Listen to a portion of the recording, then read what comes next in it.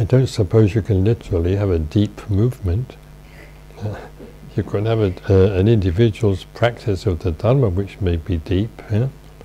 So I, I, I think what is important is um, that when we are expanding the movement through our activities, opening up uh, centers and engaging in, in other Dharma activities, we don't lose our individual depth. Hmm? Uh, I think that's what we have to be careful of. At the same time, we, we mustn't be too precious. Um, because spreading the Dharma, communicating the Dharma to others, enabling others to hear the Dharma is itself a spiritual practice. Um, our practice of the Dharma can't be entirely self-referential. It can't be just a question of my particular mental state or my particular observance of the precepts. It has to be wider than that. And uh, that's why I, I, I think uh, some people have been saying recently that uh, that meditation is not the whole of the Dharma. There's a lot more to the Dharma. And uh, I, I, referred a little while ago to my own experience uh, um, among the, the, the, former untouchables in India.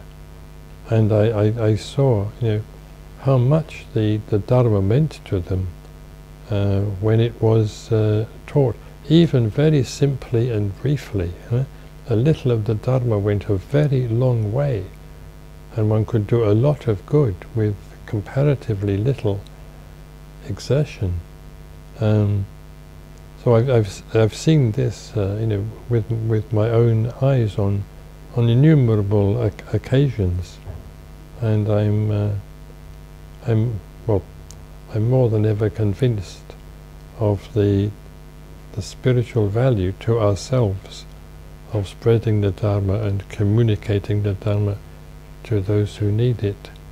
Um, I mentioned also that you know people sometimes come and tell me how they came in contact with the FWBO and the Dharma, and there have been several people who've told me um, that quite literally, if they had not met the Dharma, if they'd not met the FWBO, they very likely would have committed suicide.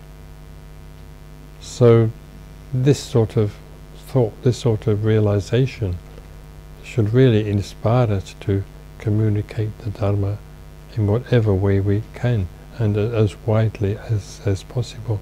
We don't have to go to India to do it we can do it right here in our own country, whether it's Britain or Germany or France or wherever it may be. Hmm? There, are, there are people who are ready for the Dharma and who need the Dharma. And it's part of our duty, part of our responsibility to do our best to make it available to them.